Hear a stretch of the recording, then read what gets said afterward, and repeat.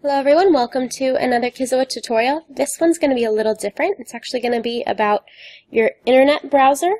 Uh, if you use Google Chrome, I'm going to show you how you can clear the cache. Sometimes when we're troubleshooting, we'll ask you to clear the cache on your browser. What that does is it kind of cleans out the memory on your internet browser, in this case Google Chrome, and then that way we're sure that you're seeing the most recent version of Kizoa, of your Kizoa account. Alright, so to clear the cache, first make sure that you've saved any work in Kizoa, and then you'll go ahead and you'll log out.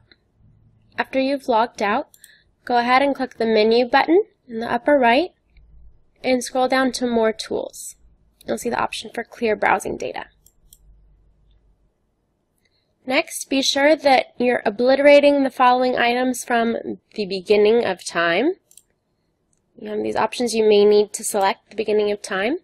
Um, and then you can go ahead and check if the cached images and files. You can uncheck any other ones uh, if you'd like. That way it'll save your browsing history. Nothing else will be deleted except for the cached images and files.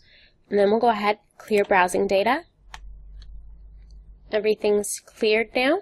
You can close the settings panel.